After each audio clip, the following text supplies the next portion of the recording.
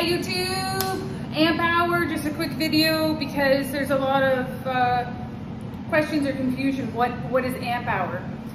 You have your voltage of your bike and then you have your amp hour. And your amp hour, regardless of whether it's lead acid or lithium, it determines the distance that you're gonna get on a charge. Lithium, you can get bigger amp hours, so the max amp hour, uh, that's another video, okay. Anyway, a 20 amp hour um, will give you about 40 to 50 kilometers per charge. A 30 amp hour will give you 30 to 70. A 40 amp hour will give you 60 to 80. And a 50 amp hour will give you 80 to 100. So a 50 amp hour only comes in uh, lithium, but it depends on what kind of bike, right? So for example, if you get a 20 amp hour zone, um, you're not gonna get 50 kilometers, you're, you're gonna get like 30.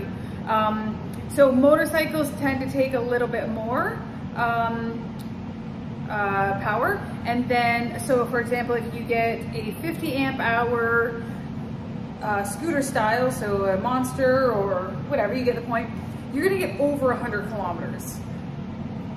But the reason why, why is there a 20 kilometer range? There's quite a bit because everybody rides a little bit differently, how they throttle, hard on the throttle. Some people coast um, a lot, they get more distance, hills, how big they are, um, a little thing. So anyways, 20 amp hour battery between 40 and 50, 30 amp hour between 50 and 70, 40 amp hour between 60 and 80, 50 amp hour between 80 to 100 hope the cruise hits. Yeah.